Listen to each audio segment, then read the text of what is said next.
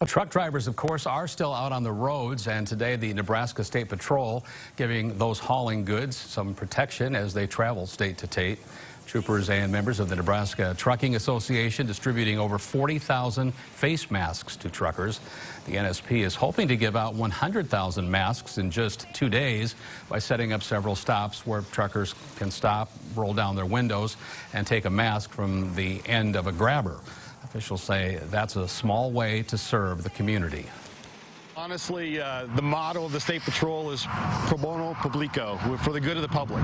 And I can really think of no better way than spending a few hours today doing good for the public by getting these masks in the hands of these drivers and keeping our public safe. Those surgical face masks were provided by the Department of Homeland Security and FEMA in response to the coronavirus pandemic, of course.